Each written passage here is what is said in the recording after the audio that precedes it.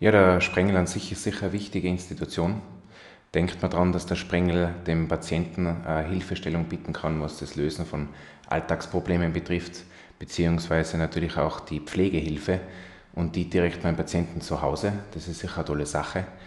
Wichtig ist natürlich auch die enge Zusammenarbeit zwischen dem Sozialsprengel und den Hausärztinnen, den Hausärzten, um einfach die Therapie und die Versorgung des Menschen zu optimieren. Ich glaube, dass das immer wichtiger ist, dass die Leute ja zu Hause gepflegt werden und nicht nur im Pflegeheim, sondern dass sie ja möglichst lange zu Hause bleiben können und das finde ich ganz wichtig. Und ich lege großen Wert auf die Zusammenarbeit, die gute Zusammenarbeit mit dem Sozialsprengel, mit den Mitarbeitern und das funktioniert sehr gut. Das Ziel für die Patienten muss sein, äh, für den Krankenhausbetreiber sie möglichst rasch äh, nach dem Krankenhausaufenthalt wieder in eine gewohnte Umgebung zu bringen.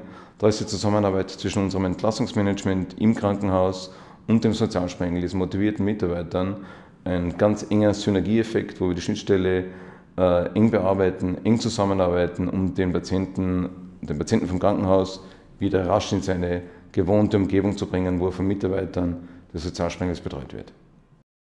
Ich bin Sprengel.